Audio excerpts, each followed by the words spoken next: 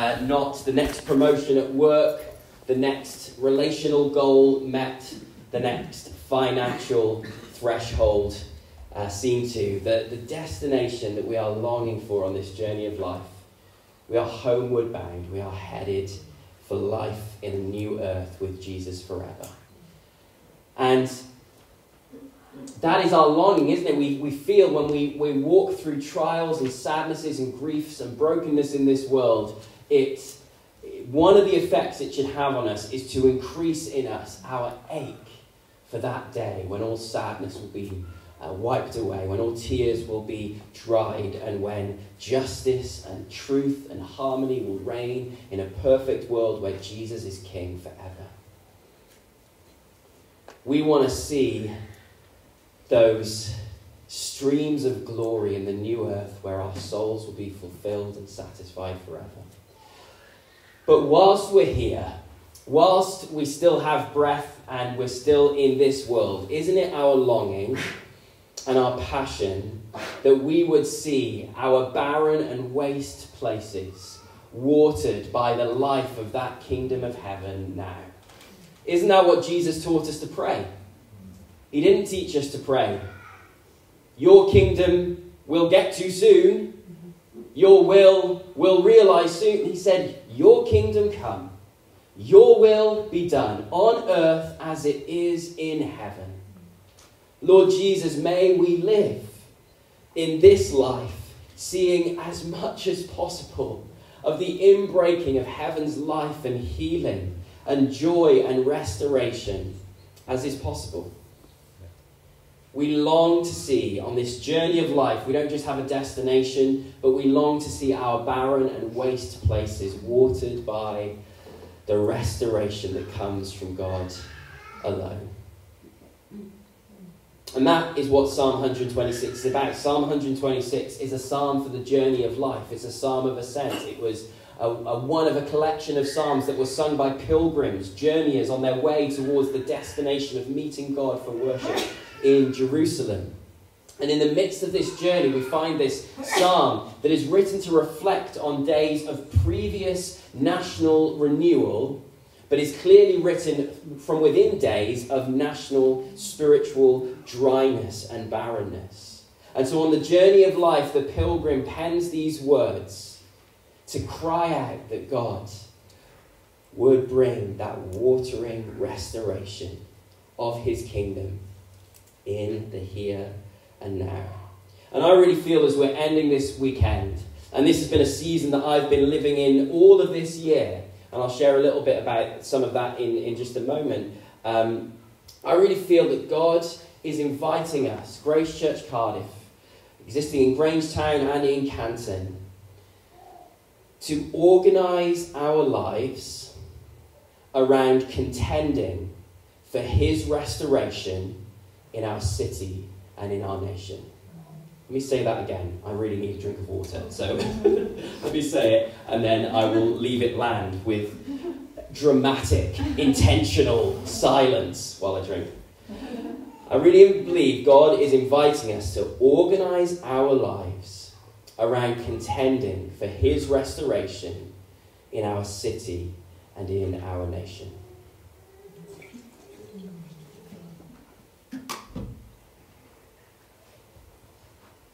I don't believe God wants us to settle for anything less than this. I don't believe God wants us to sleepwalk our way to glory. But I believe He is calling Grace Church Cardiff to be a people who live wide awake to the glory of Jesus and who live wide awake to the need in the land. And who place their lives between those two poles, arms stretched wide in both directions, and saying, Jesus, more of the glory of your grace and your forgiveness of sin and your cleansing and your redemption and your reconciliation. Jesus, more of your glory in the broken world in which we live how do we organize our lives around this longing and contending for restoration in our day. I think Psalm 126 teaches us three really, really basic steps. Firstly, if we're going to contend for more of God's restoration to come to our communities and our lives, we need to remember God's great restorative works. We need to remember what God has done. Will we be a people who keep the memory fresh and alive of the restorative works of God? Look how the psalm starts. When when the Lord restored the fortunes of Zion, we were like those who dreamed. The psalmist unashamedly dives into the past. And I like to think of it, this image came to me earlier this week actually, as I was speaking on this psalm at a Canterbury prayer night. It's like the psalmist has got a bow and arrow in hand and if you want that arrow to go anywhere, what's the first thing you have to do? You stretch back that rope. And if you want that arrow to fly far, you take that rope back as far as you can with every ounce of muscle energy within you. And this is what the psalmist does here. He looks back to a former day of God's restoring work. Look at the language that he uses. This is likely used to describe uh, a time when Israel was in captivity and in exile, but a time when God restored them, freed them, liberated them, and brought them back to their land. The psalmist says it was like we were like those who dream. What does he mean in, in this? It's like living in a dream world, but I think it's also underlined that it was, it was a time when it was so evident that God was working among them. Because actually, when do you dream? You dream when you're asleep. And so when it says we were like those who dream, it was like, whilst we were just going along with our everyday existence, it was like God invaded our reality. It wasn't us. It wasn't when the Lord restored the fortunes of Zion, we were like those who worked really, really hard. It was our work that brought God's restoration. No. This was a time when God was sovereignly showing up in amazing power. We were like those who dream. God is doing it, not us. Our mouth was filled with laughter, our tongues were shouts of, shouts of joy. Is Isaac in the room? It's Isaac? In the room. He's in the room. We have our little laughter in the room. He is sleeping and dreaming. Uh, he's my visual uh, uh, illustration this morning. Um, this reminds me of the story of Isaac in the scriptures. Abraham and Sarah living not in a barren land, but in the barrenness of their own bodies get told by God, you're going to have a son in your old age, and so overwhelmed with disbelief are they, they name the son Isaac.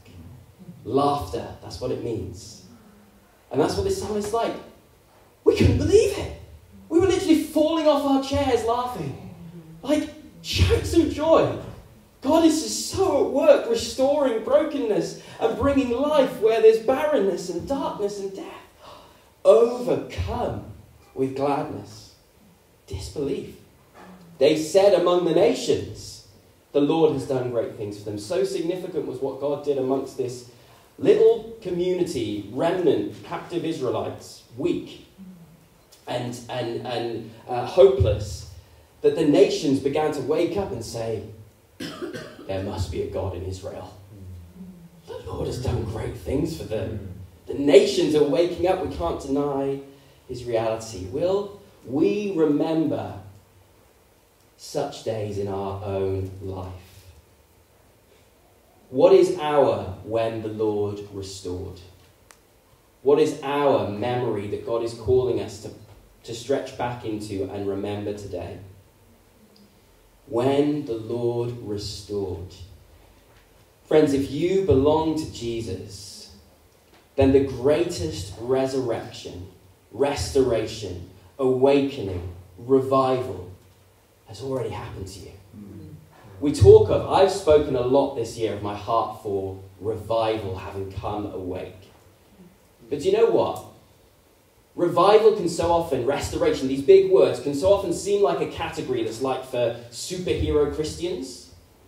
But actually, if you read the pages of the New Testament, if you've simply put your trust in the Lord Jesus as your Lord and Saviour, it's happened to you already. You are the walking, talking exhibit A of God's restoration, restoring, reviving work. In Ephesians 2, this is what it says that God found us when we were dead in our trespasses and sins. We weren't neutral spiritually, we were dead. Yeah. And by his mercy, it says, by the lavish, undeserved mercy of God, He has made us alive with Christ. By grace we have been saved and raised up and seated with Christ in heavenly places. This has already happened to every one of us that believes in Jesus. We have undergone spiritual restoration, revival, resurrection. When the Lord restored is already in our history if we belong to Jesus. How much did your salvation depend on you? When the Lord restored you, we were like those who worked really? No. We were like those who dreamed. Jesus found me when I was far from Him, when I was lost and broken and dead in my sin. Our tongue was filled with shouts of joy. Peter referred to this yesterday morning, but we all can look back, I'm sure, at those moments that came when we realized I'm a sinner and I stand under the judgment of a holy God. And without Jesus, I'm heading for death and an eternity of separation from the God I was born to be in right relationship with. And there's that moment that comes where we realize because Jesus has died on my, in my place, He's been substituted for me. He took the punishment. Now I can take His glory. I can be reconciled and restored to God. I don't know of any other thing that, uh, as someone already said it this morning, right, Michelle, I can't remember, this is the best. It doesn't get any, Caroline, it doesn't get, there's no better news than this. There's no better news than this. And what Jesus has done for us when the Lord restored us. The problem is we forget. We wander, we drift from what God has done in Christ for us. And if we're going to be a people who organize our lives around contending for restoration to come in our communities, it starts by remembering what God has done for us. It starts by us joining our prayers to that of King David in Psalm 51, who, remember, wrote these words from the pit of failure, but said in Psalm 51, verse 11, Restore to me the joy of my salvation what God's inviting us into is to have a restored joy in our salvation, restored joy in what God has done for us in Christ, this revival that has come to us if we belong to Jesus. When the Lord restored, don't bury those memories. I want to encourage you live close to the time that Jesus saved you. Live close to that memory. Don't bury them. Often, God has put in that time when you first came to faith the deposits and the signals of what He wants your life with Him to be about. Restore to us, remember the joy of our salvation, but you may have other moments of restoration you can look back to in your journey following Jesus. How often do we spend time pulling back the bowstring, remembering? How often do we do that in regards to what God has done in the land of Wales? This land that was known as a place that say, the Lord has done great things for them. The nations have been saying it, the Lord has done great things for us, and we are glad. Friends, which of the nations on earth right now is looking at Wales and saying the Lord is doing great things for them? Does that, are we okay with that? That our city and our nation is known for other things? Are we okay with that? Are we settled with that? When actually our land, like I said, has known days of great mighty outpouring of blessing. I've read a lot about the 1859 revival in Wales this year, and this is what it says in one of the books that about 110,000 were converted and added to the churches as a result of the 1859 revival in Wales. The Calvinistic, Methodist, and Congregational churches each received about 36,000 new members. The Baptists about 14,000, the Wesleyans about 5,000, and the established church about 20,000. A typical statement of the nature of the work accomplished during the revival is given by Thomas Jones in October 1859. The addition to the churches amount to many thousands, far greater than it has ever been known in Wales within the same period. You, as you read these stories, they're just like numbers in many ways, but when you think of the countless individual lives that were being touched and, and changed by the restoration that is found in the gospel alone, when we remember those days of what God has done, doesn't it cause an ache and a longing for us to see it again? Getting an imagination for what is possible when the Lord moves in power, it starts by remembering what he has done. We need to return to the past. What does the enemy want? He wants to lull you to sleep. He wants you to he wants to lower your expectations. He wants you to settle for less. He wants you to resign yourself to a comfortable and compromised Christianity. He wants you to forget what is possible with our God. I It's really challenged with this about Cardiff in particular. I once watched a documentary about Cardiff that spoke of how Cardiff, of all UK cities, is, um, is, is known amongst city planners as being a city that ruthlessly and relentlessly knocks down old buildings and builds new ones. Um, just a disinterest in its past. And I just felt, even this morning, thinking about this, that maybe there's something in the air that we breathe of like, you know, the, the, the future is now, and, and, and what matters is, is what's to come, and what, what is, and that's all very true. But there's power in remembering what God has done. There's power in remembering what the Lord has done. And if we're going to contend and believe for more, we'll start with pulling back that bowstring. But the second thing I want to say that this psalm tells us to do is not just remember God's past restoration, but to sow, to sow our lives for a great restoration of God. The psalmist takes the memory, he harnesses the bow, and what does he do? He prays. Restore our fortunes, O Lord like streams in the Negev. Those who sow in tears shall reap with shouts of joy. Doesn't get stuck in the past memory. Doesn't become cynical, that was then, this is now. Doesn't become nostalgic. But he harnesses the past memory of what God has done and he uses that to springboard into a believing, dreaming, praying, sowing, weeping present.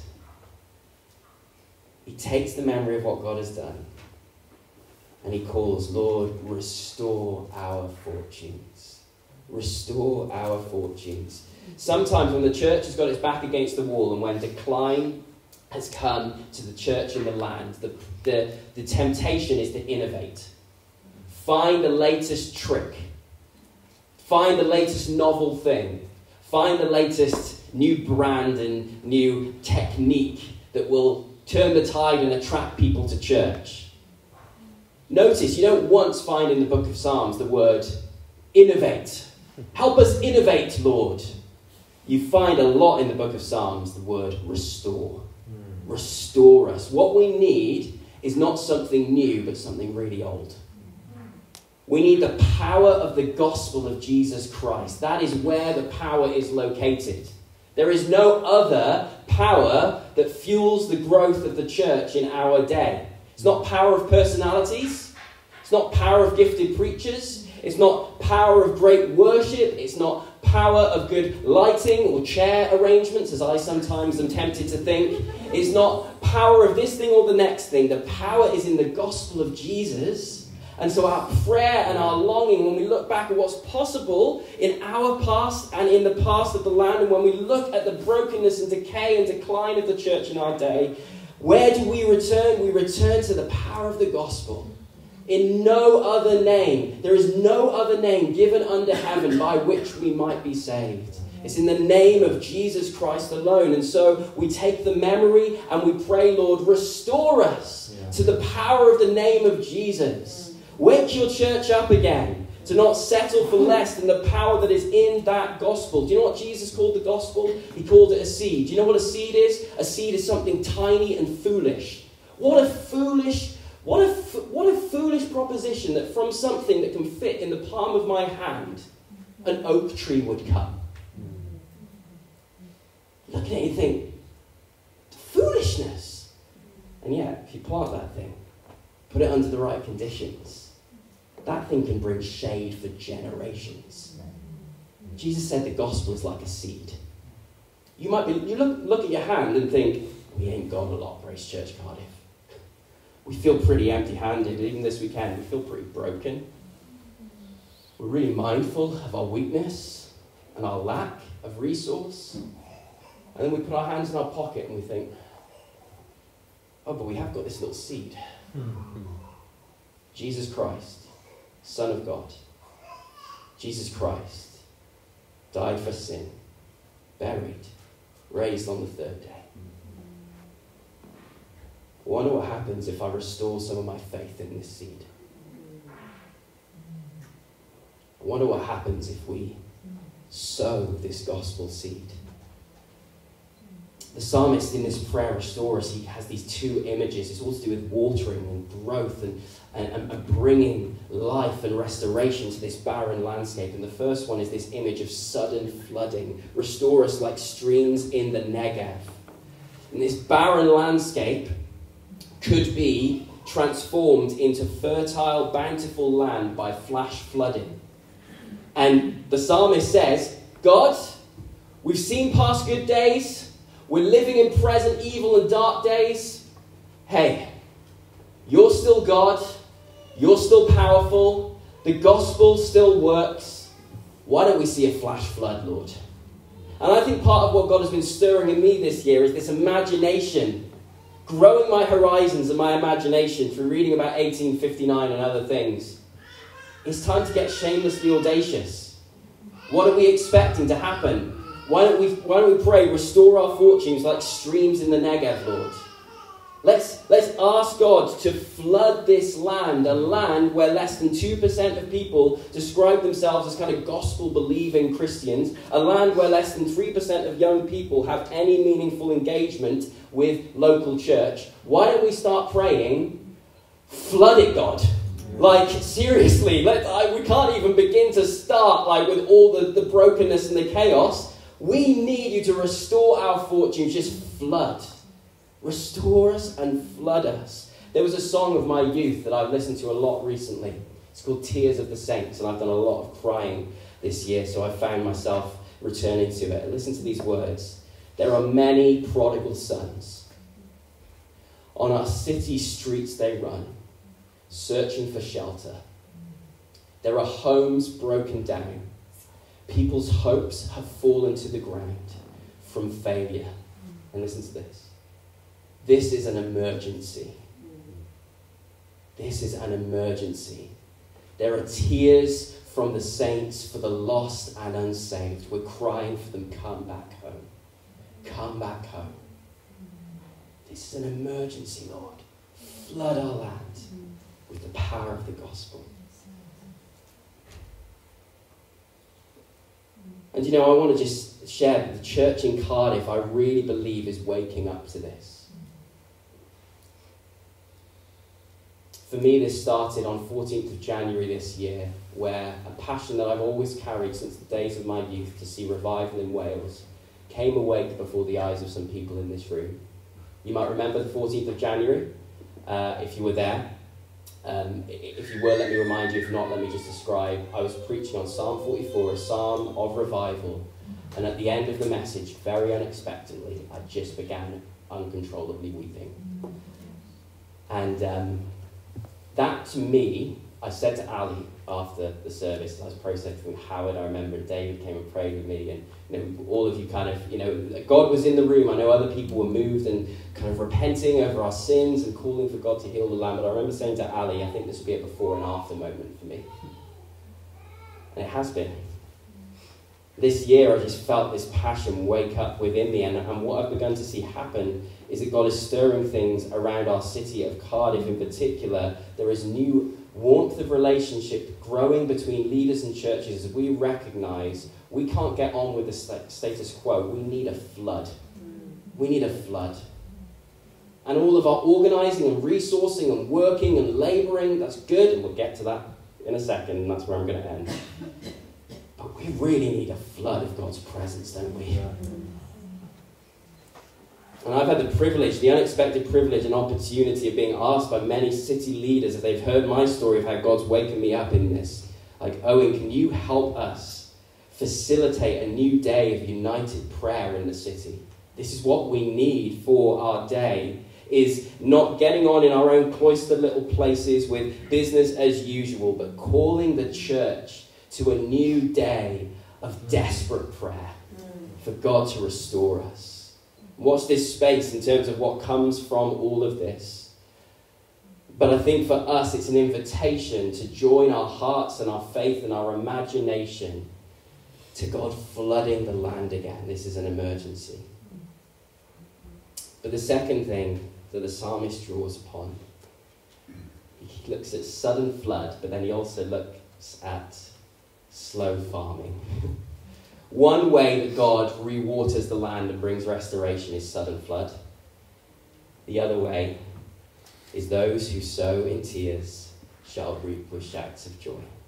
Friends, until the flood comes, until, and I'm praying that I will see this in my lifetime. I'm getting this into the language of our boys. Toby said to me at, at mealtime the other day, Dad, I wonder if I'll see revival by the time I'm a teenager. I thought, wow, he's, he's, uh, he's getting it, he's getting it. And then he stopped himself and he said, well, maybe I'll see it in my childhood.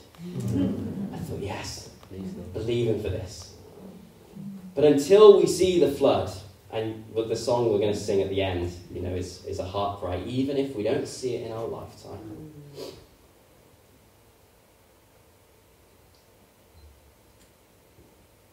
I guess our options are we put ourselves on the shelf, we let someone else care about this.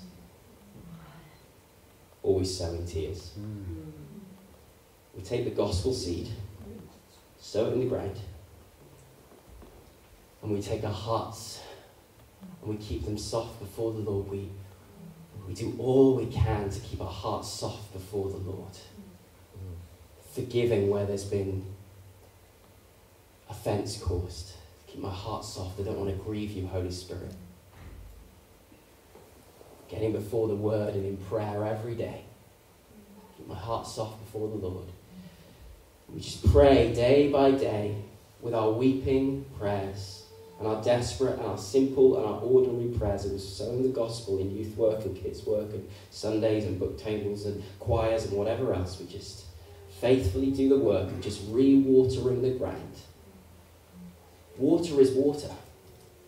And so if a tear falls to the ground on a place where there is a seed waiting to be fertilized into life, it can have an effect.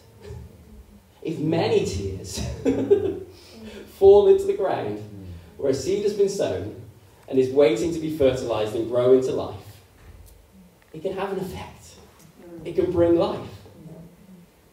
Will we be those who, in the meantime, just join our hearts and our lives in desperate and devoted prayer, in desperate and devoted sowing and praying for the gospel to do its work in lives today.